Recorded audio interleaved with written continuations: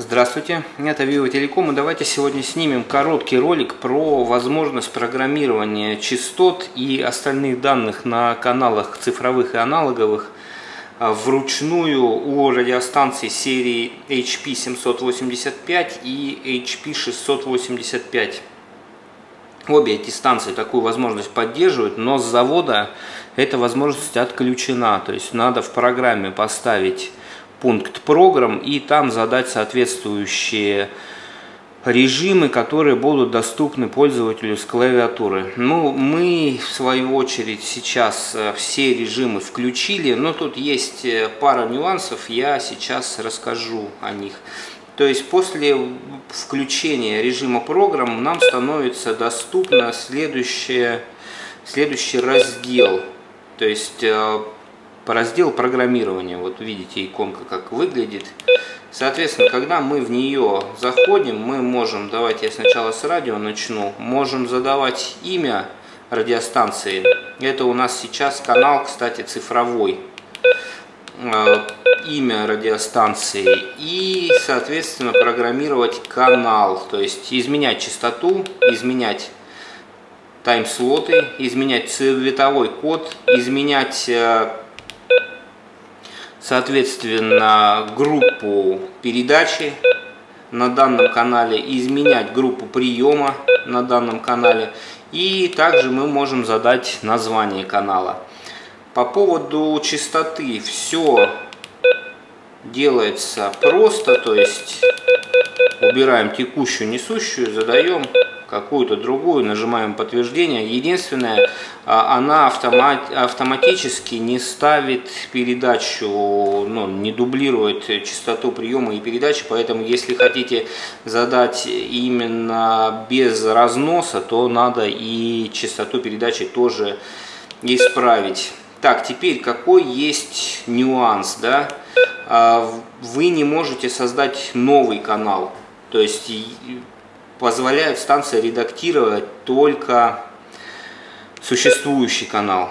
А, и второе, вы не можете задать идентификатор радиостанции, то есть вот какой ID станции задан в программе, тот и остается. То есть его можно изменить только через программу, через станцию это не делается. Соответственно, если вы какие-то там э, группы, здесь TX, э, RX группы можно создавать со станции, но идентификатор вы не поменяете, поэтому его нужно знать. И второй нюанс, э, каналы новые не создаются. То есть, если вы хотите менять несколько каналов, тогда нужно заранее подготовить в программе какие-то шаблоны каналов и потом уже их менять э, через, ну, именно редактировать, а не создавать э, созданные каналы в программе. Теперь давайте тогда... Шестой, четвертый, третий. Я на Второй. аналоговый канал перейду и вам покажу то же самое. То есть также доступно теперь программирование. Здесь в режиме радио вы можете также задавать имя.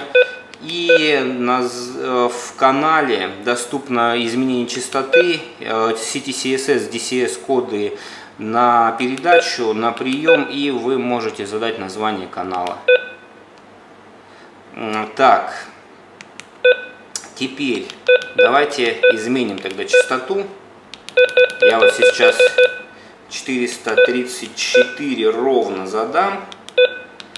И здесь, соответственно, тоже 434 0. Подтверждение. Канал 02. Давайте я включу теперь. То есть 410 было изначально, да?